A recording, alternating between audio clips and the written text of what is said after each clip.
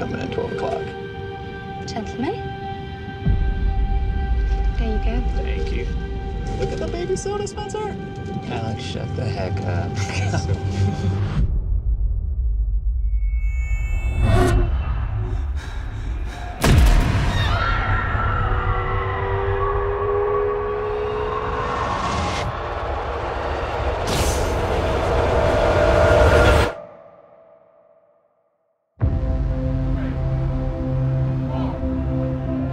Once you begin to discover who you are, then you really realize how you have been given authority over your life.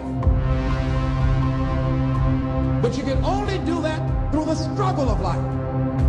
And most people avoid the struggle. Most people go through life avoiding pain.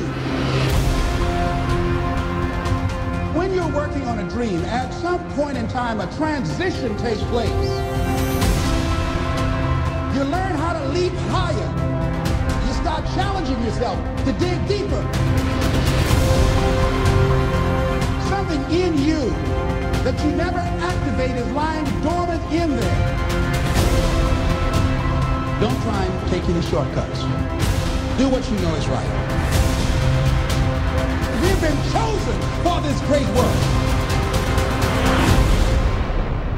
I don't know, man. You ever just feel like life is just pushing us towards something, like some greater purpose?